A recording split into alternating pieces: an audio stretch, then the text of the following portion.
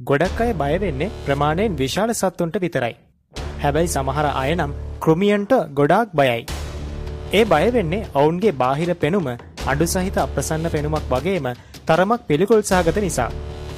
කෘමියන්ට බයනැති සමහර අය කෘමියන්ට බයවෙලා කෑගහනයට නෝන්ඩි කරලා ඔවුන්නු අතින් අල්ලලා වැඩ පෙන්න්නන අවස්ථාද නැතුවාම නෙවෙයි.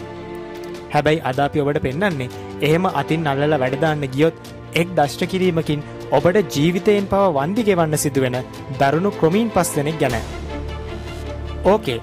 අද වීඩියෝ එක මාතෘකාව තමයි 5 ඩේන්ජස් බක් ඉන්දවර්ල්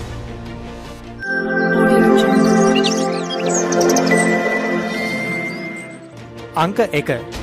බුලට් ඇන්ඩ් බුලට් ඇන්ඩ් නම් කොහොම විශේෂය? ලෝ විශාලතම කොහොම විශේෂය ලෙස හැඳින් වෙනවා. ඔවුන් වැඩිපුරම දකින්නට ලැබෙන්නේ නිකරගුවාවේ හා පැරගුවයෙහි බැසි වනාන්තර බලයි. ඔවුන් වඩාත් ප්‍රචලිත දශ්ට කිරීමෙන් පසු දැනෙන ඉතාම දැඩි වේදනාව නිසයි. මොවුන්ගේ දශ්ටනය යමෙකුට වැඩි පහරක් වැදුනක් මෙන් දැනෙනවා. එය මීමැසි හෝ බඹර දශ්ටනයකට වඩා තිස්ගුණයක් පමණ වේදනාකාරී බව පැවසෙනවා. මොවුන් අඟලක් පමණ දිගින් යුතු වන අතර පැය විසිහතරේ කොහොඹුවන් ලෙසද ප්‍රාදේශීයව හැඳින්වෙනවා. එයට හේතුව දෂ්ට කළ පසු වේදනාව පැය විසිහතරක් පමණ පැවතීමයි. මොවුන් කොහොඹු ජනපද සාදාගෙන ජීවත් වන අතර එක් ජනපදයක කෝම්බුවන් සිය ගණනක් ජීවත් වෙනවා. මොවුන් සිය ජනපද ගස්පාමුල සාධන අතර විලෝපිකයෙකු හමුවේ ඔවුන් විකර්ශණය කිරීමට අප්‍රසන්න ගන්ධයක්ද නිකුත් කරනවා. ගන්දයෙන් සතුරා පසු නොබැසහොත් එකට එක්කාසු වී පහරදීමට ඔවුන් පැකිලෙන්නේ නැහැ. අංක දෙක කිසිම් බක් මෙම කුඩා ක්‍රමියා තොල් අස්සර ප්‍රදේශයට දෂ්ට කරන ඉතා විශ සහිත සතෙක්.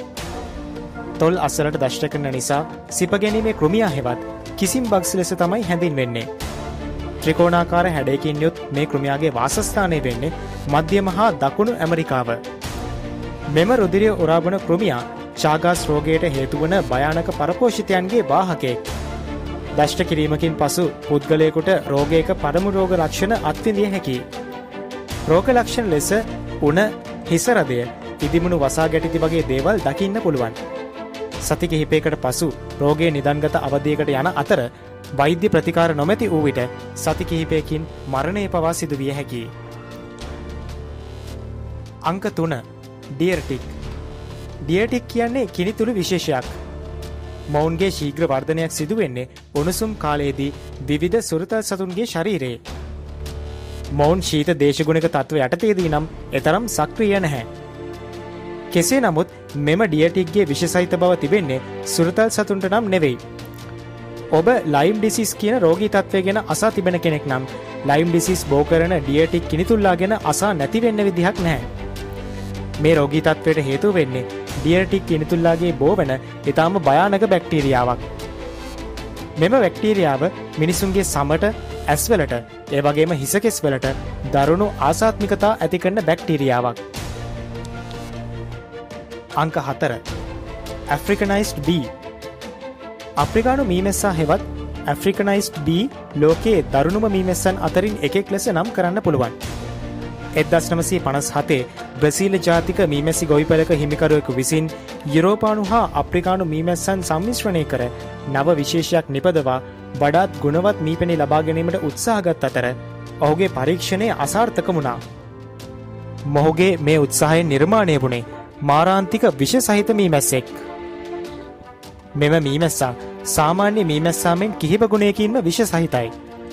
සාමාන්‍ය මීමැසි දශ්ටනය එකදීමෙන් සමමත බිබිලි හටගත්තත් වැඩි ප්‍රමාණයක් විශ සෛරීරගත වීමෙන් නිසකවම මරණය සිදුවිය හැකි. අංක පහ බ්ලක් විඩෝ ස්පයිඩ කළු ඇඳබුව ලෙස හැඳින්වෙන මෙම මාරාන්තික මකඩුවා වැඩිපුරම දකින්න ලැබෙන්නේ ඔතුරු ඇමරිකාවේ විවිධ ප්‍රදේශවල තමයි. ඇයි මේ මකුළුවාට කළු ඇඳබෝ කියල නමක් ලැබිල තියෙන්නේ. බ්ලක් විඩෝ මකුළුවන්ගේ වැඩිපුරම දෂ්ට කරන්නේ ගැහැණු සතාවන අතර තනිව සිටින ගැහැණු සතෙක් දෂ්ට කර පසු විෂ ඉතාමත් මාරාන්තික වන බවයි සඳහන් වෙන්නේ. මෙම විශේෂත්වය නිසා මෙම මකුළුවාට කළු වැන්දබූ යන නාමේ ලැබී ඇති බවයි සඳහන් වෙන්නේ.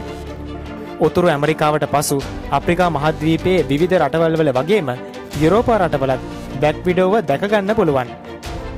ඒ ඒ රටවල්වලට සාපේක්ෂව බ්ලක් විඩෝගේ පැහැය කළු සහ දුගුරු පැහැවලින් වෙනස් වෙන්න පුළුවන්. එක් දෂ්ටනයකින් විනාඩි කිහිපයකට පසු මරණය සිදුවිය හැකි අවධානම ඉතා වැඩි වෙන අතර හැකිඉක්මනින් රෝහලකට රැගෙන යා යුතුයි.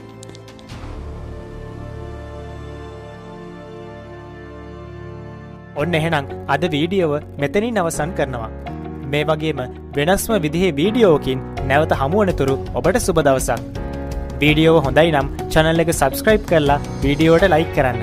ඒවගේම බෙල් අයිකරන එකත් කලික් කරලා අපි දාන වීඩියෝ ඔබ ළඟටම ගෙන්වා ගන්න.